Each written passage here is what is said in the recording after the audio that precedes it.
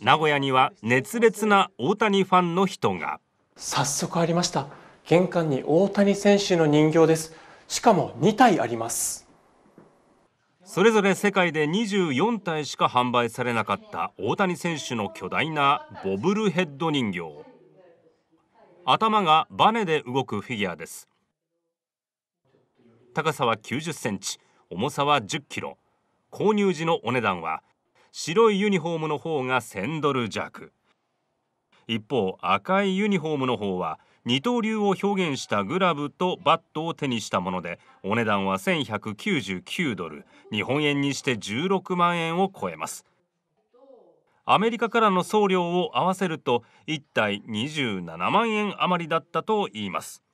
持ち主は名古屋在住の夫婦。白いユニフォームの人形はアメリカの友人に勧められ購入。赤の方は実際に現地で野球観戦した記念に購入したそうで今日も自宅玄関に2体とも大事に飾っていました。なんかちょっと安心っていう感じですね。これからきっとドジャース行って活躍をすると思うのでまたそうしたらあのにわかドジャースファンというか大谷さんを追いかけて大谷ファンで続けていくと思います。3体目が欲しいってたら。